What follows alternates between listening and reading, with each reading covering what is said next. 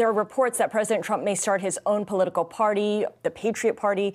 And even if he doesn't, there's a real likelihood that the far right might splinter off from the mainstream Republican Party. How close do you think we are to going from a two party system to a three party system?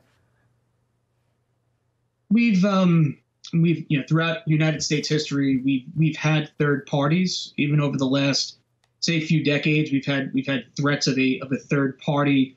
Um, even when, even when that kind of independent or third party sentiment has materialized, I think, for example, um, around Ross Perot, or even you know, some some minor movement around the Green Party, particularly when Ralph Nader uh, ran for the presidency. Um, right. Those movements tend to last very long. Um, you know, especially a, a, movement built around a person um, is a movement that that can't survive, right? So if, if a third party's um, entire reason of being is yep. is to support Donald J. Trump, um, once once President Trump is is bored with that movement, the movement will disappear.